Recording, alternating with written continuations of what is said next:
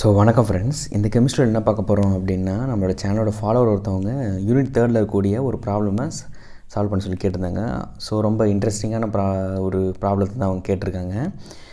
So என்னன்றதை ஒரு பார்ப்போம். ஸோ உங்களோட chemist eleventh chemistry first volume chapter த்ரீங்க periodic classification of எலமெண்ட்ஸில் ப்ராப்ளம் நம்பர் ஃபார்ட்டி ஃபோர்த்துங்க ஸோ ப்ராப்ளத்தை ஒரு ரீட் பண்ணுற பாருங்கள் explain the following following give appropriate ரீசனுங்க ஒரு ஸ்டேட்மெண்ட்ஸ் கொடுத்துருக்காங்க.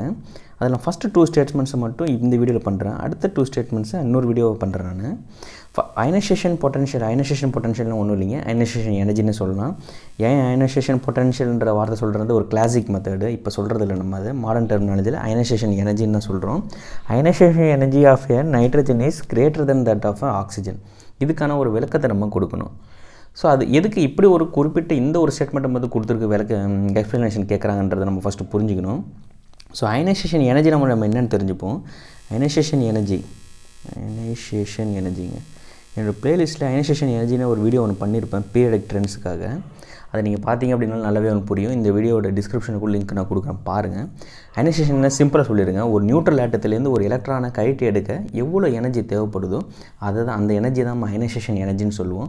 ஏன் அயனைசேஷன்ற ஒரு வார்த்தை வருது அப்படின்னு பார்த்தீங்க அப்படின்னா ஒன்ஸ் நீங்கள் நியூட்ரல் ஆட்டத்துலேருந்து ஒரு எலக்ட்ரானை எடுத்துட்டீங்க அப்படின்னா அதுங்களுக்கு ஒரு நெட் பாசிட்டிவ் சார்ஜ் ஆனது வந்துடும் ஸோ அதனால் அது அயானாக மாறுது. எக்ஸாக்ட்லி அயானாக மாறினாலே அயனைசேஷன் எனர்ஜின்னு பேர் வச்சுருக்காங்க. ஸோ இப்போ அந்த அயனைசேஷன் எனர்ஜி எப்படி மெஷர் பண்ணுவோம் அப்படின்னா கிலோ ஜூல்ஸ் பெர் மோல்டு மெஷர் பண்ணுவாங்க. Kilo joules per mole so இந்த பீரியாடிக் டேபிள் வந்து என்ன பார்த்தீங்கன்னா கிலோ ஜூல்ஸ் மோலில் இருக்கக்கூடிய அயனைசேஷன் எனர்ஜி உள்ள ஒரு பீரியாடிக் டேபிளுங்க ஒரு ஒரு எலமெண்ட்டு கீழேயும் அதுங்களோட அயனைசேஷன் எனர்ஜி இருக்குது அதாவது நியூட்ரலாக இருக்கக்கூடிய ஒரு ஆட்டத்துட்டேருந்து ஒரு எலக்ட்ரானை கைட்னிங் கட்டுறதுக்கு எவ்வளோ எனர்ஜி தேவைன்றதை நீங்கள் கீழே மென்ஷன் பண்ணிருக்காங்க. யூஸ்வலாக பீரியாடிக் டேபிளில் ட்ரெண்ட் என்ன பார்த்தீங்க அப்படின்னா அயனைசேஷன் எனர்ஜியை வந்து லெஃப்ட் டு ரைட் போகும்போது இன்க்ரீஸ் ஆகுங்க. Maximum so down the group போகும்போது டிக்ரீஸ் ஆகும். ஸோ இது வந்து ஏற்கனவே படி தெரிஞ்ச விஷயம் தான் நமக்கு.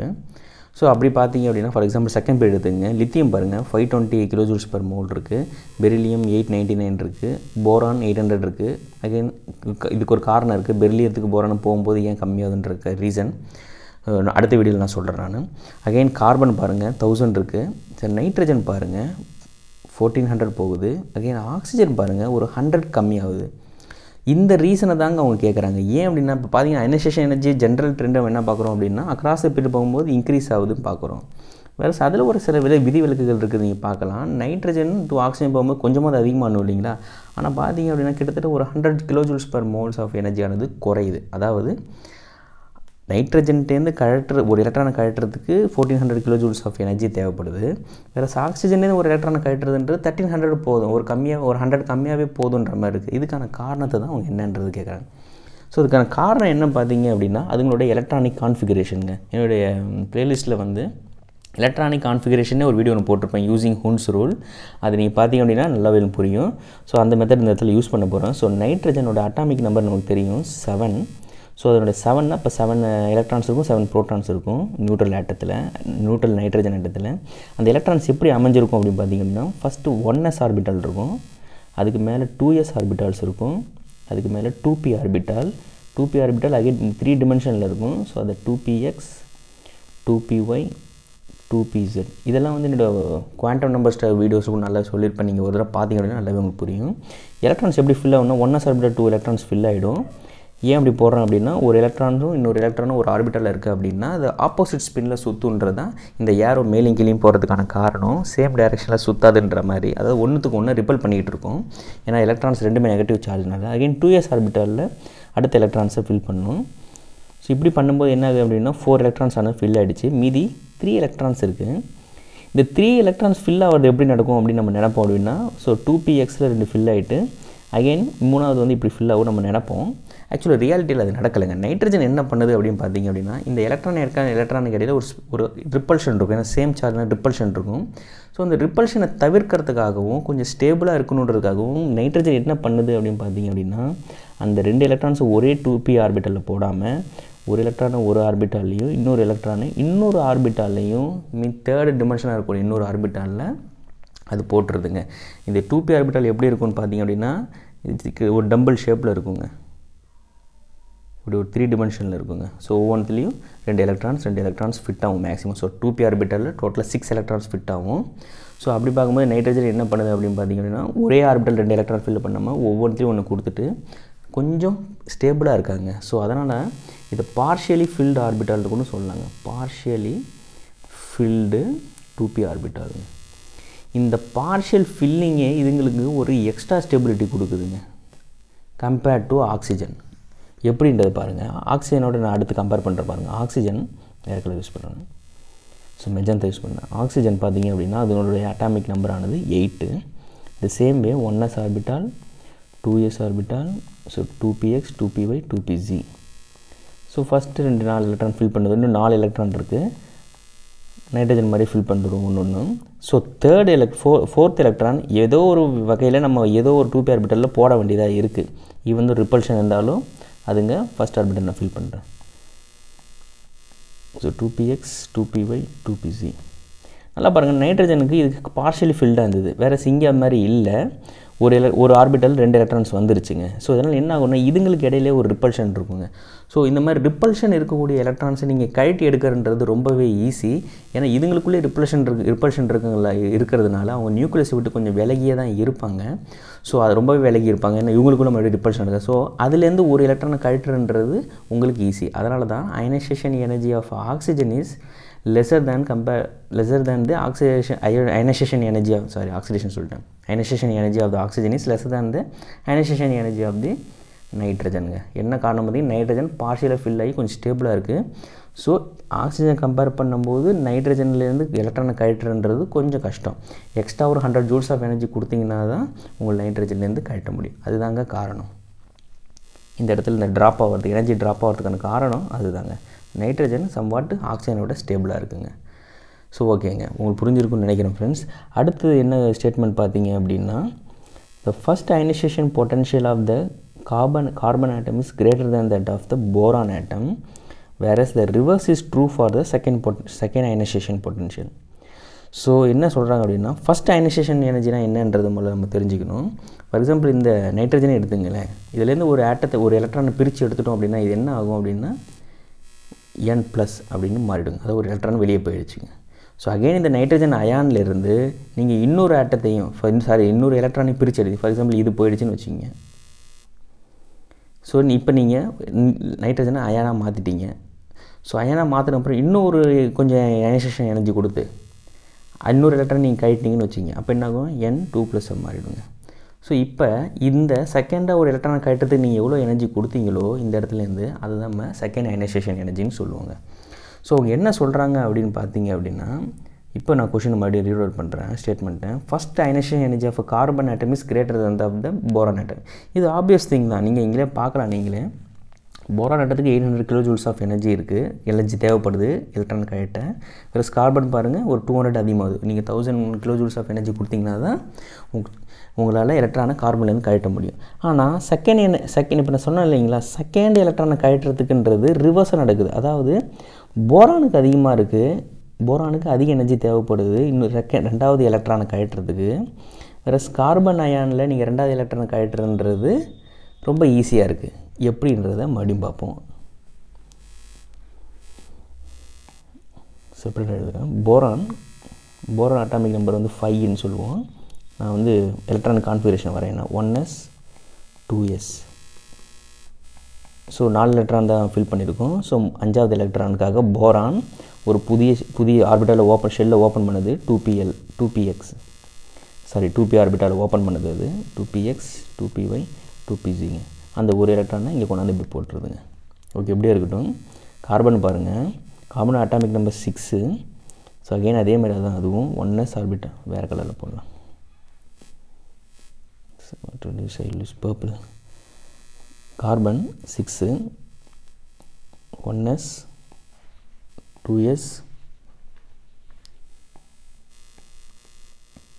2p orbital 2px 2py 2pz again நான் எலக்ட்ரான் ஃபில் ஆகிடுச்சு ஸோ இன்னும் ரெண்டு எலக்ட்ரான் இருக்குது இன்னும் ரெண்டு எலக்ட்ரானை பார்ஷியலாக ஃபில் பண்ணுறதாவே வச்சுப்போம். ஒவ்வொரு ஒரு ஒரு டூ பி ஆர்பிட்டாலுக்கும் ஒன்று ஒன்று கொடுத்துருச்சுங்க. இப்போ நல்லா பாருங்கள் ஃபஸ்ட் அனிசேஷன் எனர்ஜியை பற்றி மட்டும் நான் பேசுகிறேன் அதாவது ஒரு எலக்ட்ரானை நியூட்ரல் ஆட்டத்துலேருந்து கழட்ட போகிறோம் ஸோ நல்லா பாருங்கள் இந்த எலக்ட்ரான் கழட்டுறது ஈஸியாக இல்லை இந்த எலக்ட்ரான் கழட்டுறது ஈஸியாக நீங்கள் நினைப்பீங்க. ஆக்சுவலாக போரானில் இருக்கக்கூடிய அந்த ஒரு எலக்ட்ரான் கழட்டுறது தாங்க ஈஸி ஏன் சொல்கிறோம் அப்படின்னா அதுங்க அதுக்கு வந்து நம்ம ஒரு விஷயம் நம்ம தெரிஞ்சுக்கணும். அயனைசேஷன் எனர்ஜி இப்போ முதல்ல எதை டிபெண்ட் ஆகிருக்கு அப்படின்றத நான் சொல்லிடுறேன். சிம்பிளாக போட்டுடுறேன். இது நான் வந்து ஒரு புரியத்தலுக்காக போட்டிருக்கேங்க. ஆட்டமோட ஸ்ட்ரக்சர் இது கிடையாது. இது போருடைய மாடல் ஆட்டமானது இப்படி இல்லை. ஆர்பிட்டால்ஸில் இருக்குது நான் ஆர்பிட்ஸ் மாதிரி புரியறதுக்காக போட்டிருக்கேன். ஸோ அந்த ஒரு விஷயத்தை ஞாபகம் வச்சுங்க ஸோ போரான் வந்து ஃபைவ் ப்ளஸ் ஃபைவ் ப்ரோட்டான்ஸ் இருக்கும். ஸோ ஒன் எஸ் ஆர்பிட்டாலில் ரெண்டு எலக்ட்ரான்ஸ் இருக்கும். டூ எஸ் ஆர்பிட்டாலில் ரெண்டு எலக்ட்ரான்ஸ் இருக்கும். தேர்ட் ஷெல் டூ பி ஆர்பிட்டாலில் போகிறேன் பாருங்கள் ஸோ டூ பி ஆர்பிட்டாலில் இன்னொரு எலக்ட்ரான் இருக்குங்க. ஸோ அதானே? ஓகே ஃபைவ் எலக்ட்ரான்ஸ் இந்த ரெண்டு எலக்ட்ரான்ஸ் இருக்கு இல்லைங்களா? இந்த ரெண்டு எலக்ட்ரான்ஸ் இந்த ரெண்டு எலக்ட்ரான்ஸ் என்ன பண்ணுவோம் இதுதான் ஷீல்டிங் எலக்ட்ரான்ஸ்னு சொல்லுவாங்க. அதாவது டூ எஸ் ஆர்பிட்டல் இருக்கக்கூடிய இந்த ரெண்டு எலக்ட்ரான் நம்ம ஷீல்டிங் எலக்ட்ரான்ஸ்னு சொல்லுவோம். அந்த ஷீல்டிங் எலக்ட்ரான்ஸ் என்ன பண்ணும் அப்படின்னா இந்த எலக்ட்ரானை நியூக்ளியஸ் அட்ராக்ட் பண்ண விடாமல் கொஞ்சம் ரிப்பல் பண்ணுங்க. இதுங்க ரெண்டும் சேர்ந்து.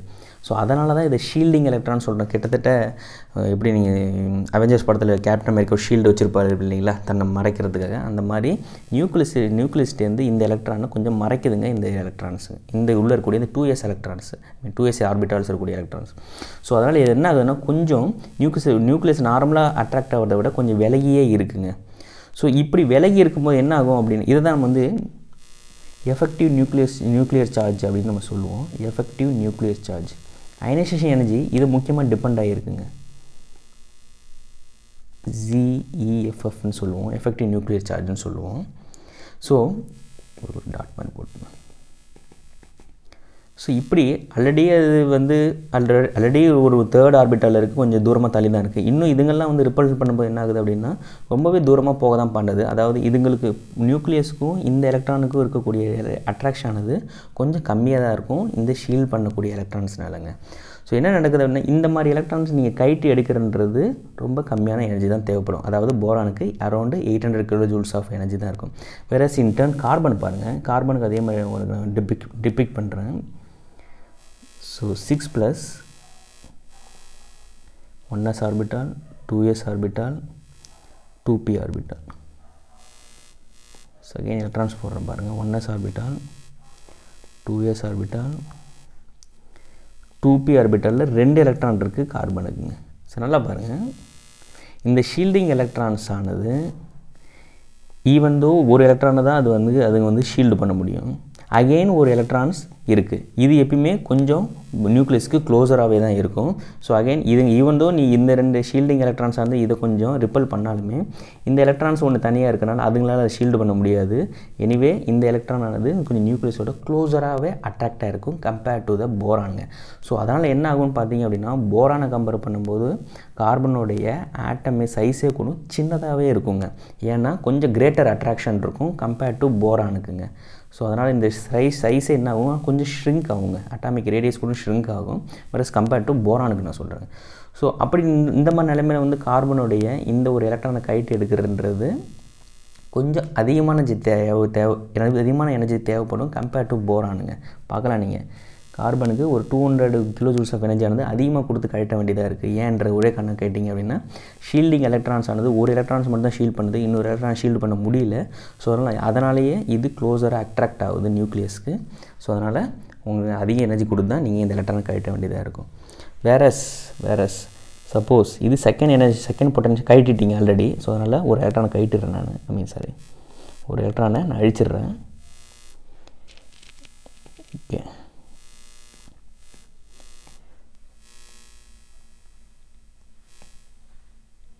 இப்போ இது கார்பன் ப்ளஸ் ஆகிடுச்சுன்னு வச்சுக்கோங்க. கார்பன் அயனாக மாறிடுச்சு. ஒரு எலக்ட்ரான் கழிட்டு ஃபஸ்ட்டு அயனைசேஷன் எனர்ஜி முடிஞ்சு போச்சுங்க. இது செகண்ட் அயனைசேஷன் எனர்ஜி ஸோ இப்போ நான் இந்த எலக்ட்ரானை கழிட்டுன்றது ரொம்பவே எனக்கு சுலபமாங்க. ஏங்க அந்த ஏற்கனவே இந்த ஒரு எலக்ட்ரானை கழட்டிட்டேன் ஆல்ரெடி இதுங்க ஷீல்டு பண்ணிகிட்டு இருக்கு. ஆல்ரெடி இதுங்க ஷீல்டு பண்ணிகிட்டு இருக்கிறனால இது நியூக்ளியஸை விட்டு ரொம்பவே விலகி போக பார்க்கும் இந்த எலக்ட்ரான் ஆனது. ஸோ அதனால் இந்த எலக்ட்ரானை கழிட்டுன்றது ரொம்ப ஈஸி வேறு கம்பேர்ட் கொஞ்சம் போரான் பாருங்கள் போரான் போரானுடைய இந்த ஒரு எலக்ட்ரானை I mean first initiation energy கொடுத்து நான் ஃபஸ்ட்டு இந்த இந்த எலக்ட்ரான் இருக்குது இல்லைங்களா?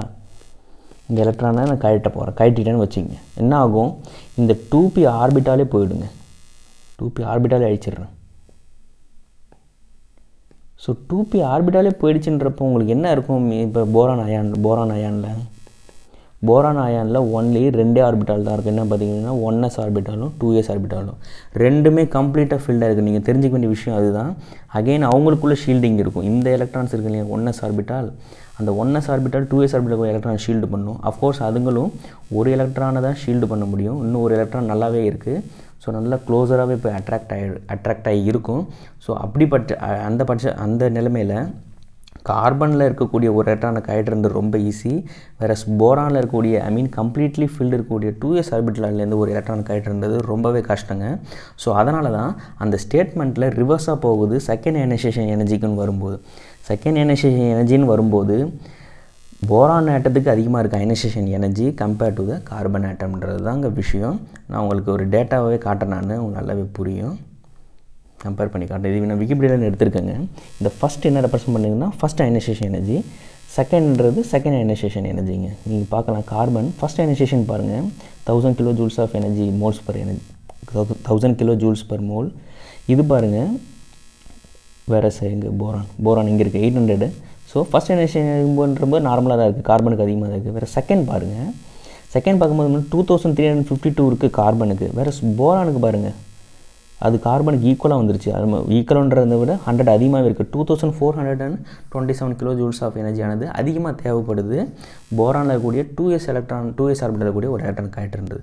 ஸோ உங்களுக்குலாம் புரிஞ்சிருக்குன்னு நினைக்கிறேன் ஃப்ரெண்ட்ஸ் ஏதாவது டவுட்ஸ் இந்த கமெண்ட்ஸில் போடுங்க. நான் க்ளியர் பண்ணுறேன் ஸோ தேங்க்யூ ஃபார் வாட்சிங்